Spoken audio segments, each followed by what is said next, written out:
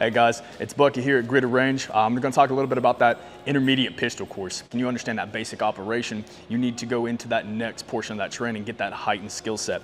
With that, we're going to talk about what is that dynamic version of utilizing a pistol other than a static situation. You're going to talk about those reloads. You're going to talk about actual facing movements and that dynamic operation of a weapon system while being forward of that line. Giving you a more well-rounded skill set while operating your firearm.